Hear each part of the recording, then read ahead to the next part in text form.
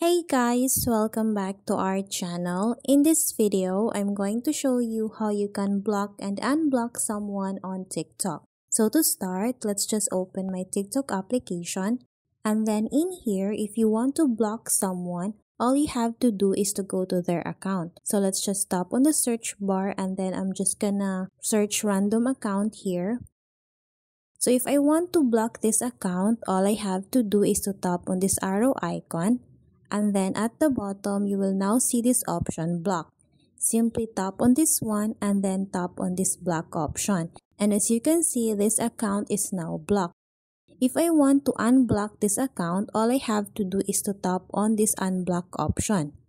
But if you forgot the account's name of the person that you want to unblock, another way for you to unblock an account is to go to your own profile. Here on my profile, all I have to do is to tap on these three lines and then go to settings and privacy.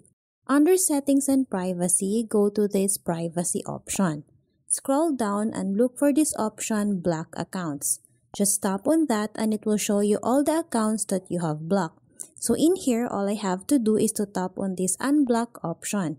And then if I go back and then open this block accounts option again, that account is automatically removed from my block list. So that's how easy you can block and unblock someone on TikTok. I hope this video helped you out and please don't forget to subscribe, hit the like button and the notification bell for more upcoming videos. Thank you and we'll see you on our next video.